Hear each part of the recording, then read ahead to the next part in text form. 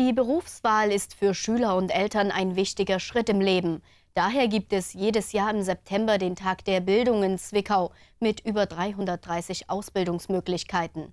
Bisher auf dem WHZ-Campus in Eckersbach findet das Sprungbrett Zukunft 2018 erstmals im Konzert- und Ballhaus Neue Welt statt, und zwar am kommenden Samstag von 9 bis 14 Uhr.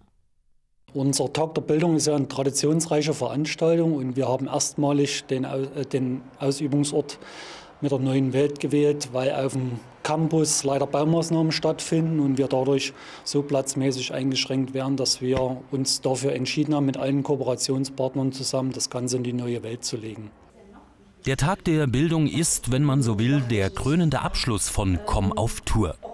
Bei der gleichnamigen Projektreihe konnten Siebt- und Achtklässler seit dem 4. September in der Muldentalhalle Wilkau-Haslau nach ihren persönlichen Stärken suchen.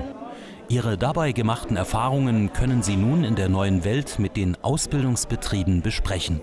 Sie können sich Informationen holen. Ist es tatsächlich so, was Sie sich vorgestellt haben? Die Ausbildungsbetriebe werden auch äh, live dann da sein und werden sagen können, welche Anforderungen kommen. Und das Ganze soll ja dazu führen, dass die neuen Auszubildenden mit einem festen Berufswunsch auch ihren Ausbildungsvertrag unterschreiben. Ja, für alle die Schüler, die leider nicht auf, auf Tour teilnehmen konnten, die können auch diesen Interessenparcours nochmal durchleben, denn die Bundesagentur für Arbeit zur Verfügung stellt. Auch diese Schüler können dann nochmal ihre Stärken testen oder wissen, wo soll denn die Reise hingehen. Es werden insgesamt 79 Aussteller da sein. Es ist erstmalig ein riesengroßes, äh, breites Spektrum an Angeboten wo die Schüler sich sehr gezielt informieren können.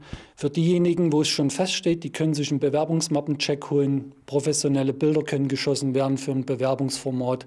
Sie können mit Berufsberatern nochmal in Kontakt treten, um sich nochmal beraten zu lassen. Aber das Hauptaugenmerk liegt bei unseren Ausstellern, die dann ihre potenziellen äh, Auszubildenden dann quasi auch live erleben können. Auch wenn sich der Tag der Bildung vorrangig an Schüler richtet, über 18-Jährige sind ebenfalls willkommen. Es sind alle herzlich willkommen, die noch keine Berufsausbildung haben, weil für eine Berufsausbildung ist es nie zu spät und da wird, wird dem Alter keine Grenzen gesetzt.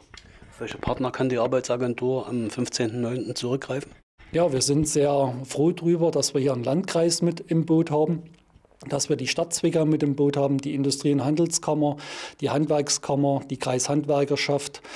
Die Wirtschaftsförderung ist mit dabei und wir sind so ein Netzwerkverbund schon über viele Jahre, die da gemeinsam diese Veranstaltung dann auch unterstützen, finanzielle Mittel dazugeben und das dann alles zu ermöglichen. Das ist quasi der Tag zur Berufs- und Studienorientierung vom gesamten Landkreis. Alle Schüler und ihre Eltern sollten sich daher den Samstagvormittag freihalten und in der neuen Welt vorbeischauen. Ein besseres Sprungbrett in die Zukunft gibt es nicht.